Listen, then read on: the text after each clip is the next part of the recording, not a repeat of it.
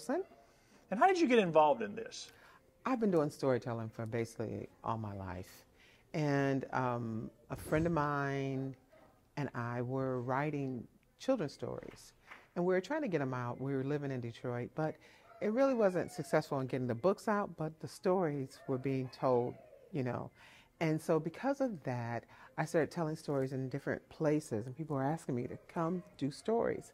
Then I left Detroit and I um, went to grad school in Iowa. And when I went to school in Iowa, I got with the Iowa Humanities, and I was, you know, able, just like now with the South Carolina Humanities, I was able to tell stories from time to time in between studying.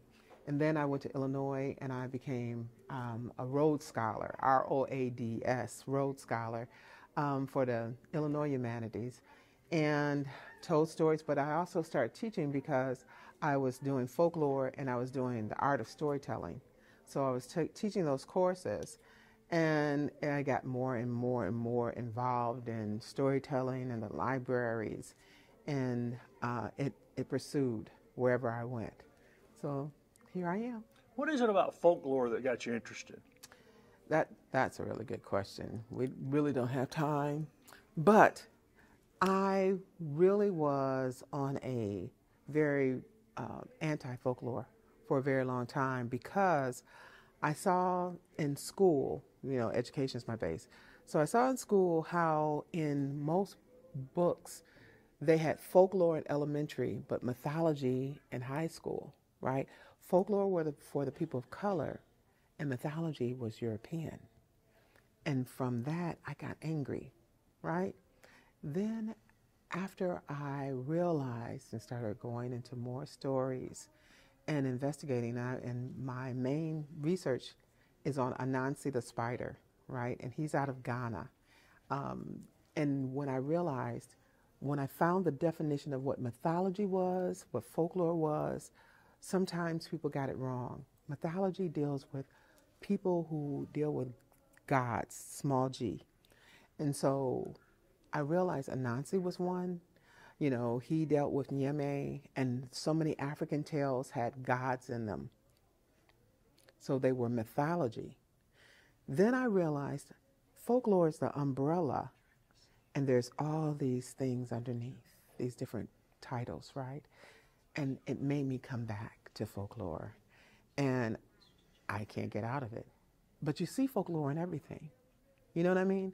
When you're reading or watching TV, you are, you sometimes are reminded that, hey, you know, that CSI reminded me of a tale.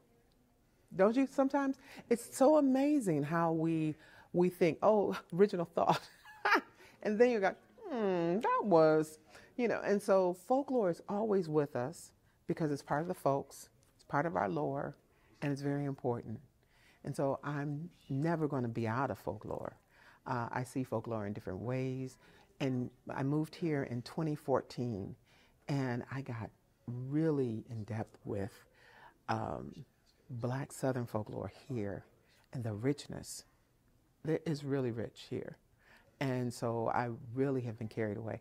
So I've taught um, Southern Black folklore at the university, and I've taught um, Black women's folklore, um, but I'm never going to shake folklore because it's it's in us, and we all have it. We all have our tales.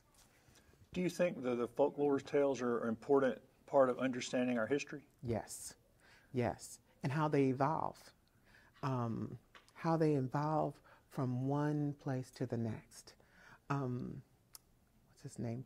Neil Gaiman. Mm, let's just pause for that. That's how I was familiar with the one you mentioned earlier. His Anansi. Yeah. American Gods, that could be taught a whole semester. The pieces that you could cut from that that book alone is amazing. You've got folklore from all over the world, and they're coming to say, we're still present, but we're starting to die because of these computers and what other people are now admiring and calling gods, computers, money, all these other things. But they fought, you know, and that's the whole thing with Neil Gaiman. He was saying, fight, fight for your culture, fight to hold those things strong. And I love him.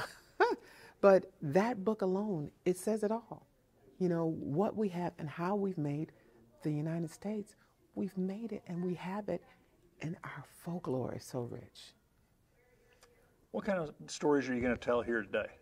I'm going to tell folklore that is from um, the low country, southern.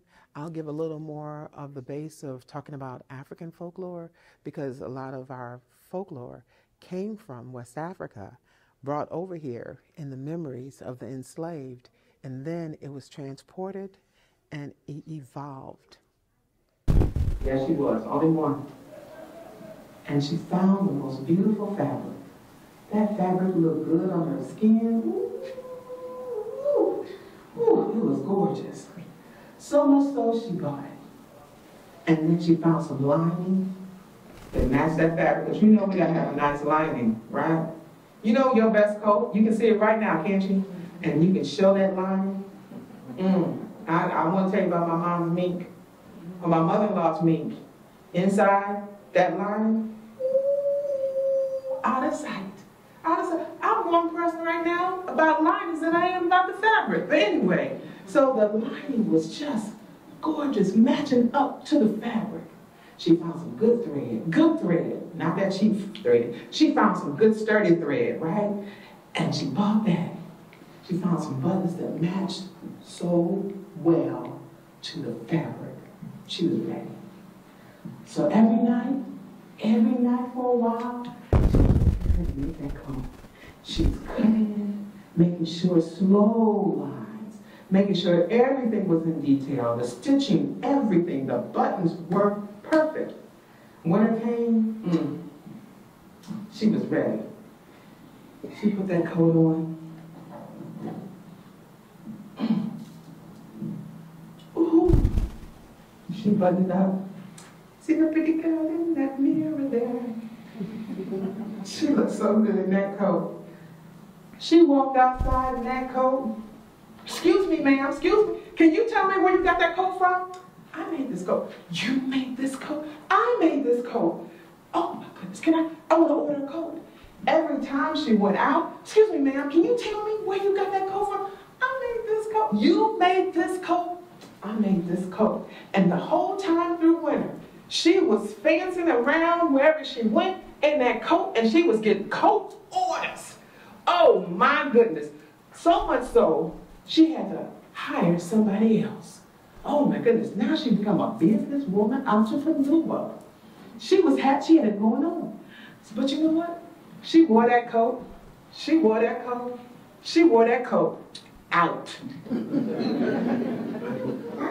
know, around here, around the buttons. Y'all know how you wear out a coat. Your favorite coat right now, think about it. May it rest in peace. Okay? So she finally decided it was time for her to take that coat off. And it was getting a little bit warmer.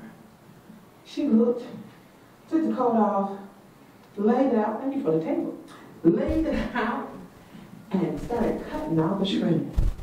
Started hemming up places. Did a great piece of embroidery, just the most beautiful design. And the collar was gorgeous. And she had herself a jacket. Ooh, she put that jacket on for the first time.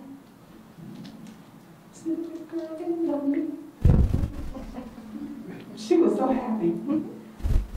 She went outside. Oh, ooh, she looked good. Had a little peplum, you know. So kind of bounced in the back. It's okay. She was looking good. And, excuse me, excuse me, miss, can you tell me where you got that jacket from? I made this jacket. You made this jacket? I made this jacket. I want some jackets. Oh my goodness. She started selling jackets right then and there because they loved those jackets so much. She was, she had it going on. She hired two people. She was making jackets and she was making coats. Okay, this is going to be participation time. She was making jackets and she was making coats. And she was fine, fine, fine until what happened? She wore that jacket. She wore that jacket. She wore that jacket out. Okay, we're gonna have to get a little bit better with that. she wore that jacket out. It was starting to become shredded. It really was. It really, really was. And so, mm, she took it off, but that's okay because it really got warm. She decided what she was gonna do. She looked at it. She really had enough fabric to make something else, and so she started cutting. She started designing. Oh my goodness. She made herself a beautiful, beautiful vest. That vest was divine. People love that That's when she walked out. Excuse me, miss. Can you tell me where you, where'd you get that vest? I made this vest. You made that vest? I made this vest. She can wear it with her skirts. She can wear it with her slacks. Oh, honey, some of the dresses she can put on top. You know how I do it. She can put that, oh, she was looking good, good, good. I'm telling you, she was making it with that vest. That vest was just fine. Pretty girl in the mirror. She was so gorgeous she couldn't believe it because of that vest. Wow. But you know what? She wore that vest. She wore that vest. She wore that vest. That's right. Thank you very much. Until it was nothing but shreds. She was trying to figure out what she could do. Hmm. She took it off. Started thinking about, what? Hmm. What did she do with that? Well, you know what she decided? She started cutting. Her lining was beautiful. She started weaving in so many pieces that were still available. Oh my goodness. She made herself the most beautiful scarf. She was a queen. She puffed out her hair. And that scarf made her look royal. See a pretty girl in that me there. She'd go outside with that beautiful scarf around her head. Excuse me, my sister, you look so beautiful today. Can you tell me where you got the scarf from? I made the scarf. You made that scarf? I made that scarf. Oh my goodness. Can I get a scarf like that? Sure, you can get a scarf like that. Oh my. Excuse me, sister. Where'd you get the scarf from? I made this scarf. You made this scarf? Yes, I did. I made this scarf. Can I get a scarf like that? Yes, you can. Oh my goodness. She was getting scarf orders. That's uh, I missed that one, so y'all forgot it too. she was making scarf orders. That's orders. All right now. She had four, because I didn't forget, she had four new people in her place working in her now a block long tailor shop. She had to go. But you know what? That scarf she wore, she wore that scarf. Woo-hoo! She wore that scarf. Woo-hoo! She wore that scarf. Ah. Thank you. Thank you. Yes, she did. And it became pretty like threads, shreds. And so she laid it out. She realized she could make something else. Yes, she did. she made the most gorgeous flower earrings that looked like they were real. People would come up and say, Are those real? Oh, they're not real flowers. They're beautiful. What jewelry store did you go to to get those flower earrings? I made those flower earrings. You made those flower? I made these flower earrings. My goodness, they're so beautiful. Thank you. And every place she went, she started getting earring orders. That's right. Come on now. she started getting earring orders. And she worked those earrings and she wore those earrings and she wore those earrings. Stop it, it's not your turn. and she wore those earrings out. That's right. And all that was left was this story. Oh.